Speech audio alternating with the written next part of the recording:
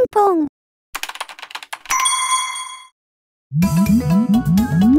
昔々あるところに、はい、なんやねん急に。昔々あるところに、分かった聞くから泣くなアホ。昔々あるところに、おじいさんとおばあさんがいました。はい。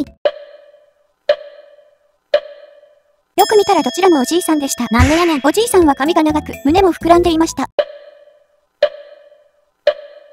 よく見たらやっぱりおばあさんでした。お前間違えすぎやろちゃんと見ろ。おばあさんは川へ洗濯に、おじいさんは山へ稲抜きに行きました。稲抜くんじゃねえよ。ただのやべえやつじゃねえか。稲刈りやろ。するとどうでしょう。なんと山の山頂から桃が転がってきます。山から？大丈夫かいな？問題ございません。おじいさんは桃を華麗に避けました。避けんな。勢いよく転がってきた桃は山の木へ激突。その衝撃でばっくりと割れてしまいました。ふむ。すると中からダンシングマイケルが。いやいやいやいや。はい。はいじゃねえんだよ。なんでマイケルが桃から出てくんねん。逆に考えてマイケルから桃が出てくるじゃダメですか？ダメだろ。問答無用にダメだろ。てかなんでこいつずっと踊ってんねん。いや、ダンシングマイケルですし、そんなさも当然のように言われましても。てかさっきから後ろでレベル上がってんだよ。ナイフ振り上げてるやん。レベル3だろあれ。あ、受ける。うるせえ。で、おじいさんの方行っとるで。おじいさん逃げてえ。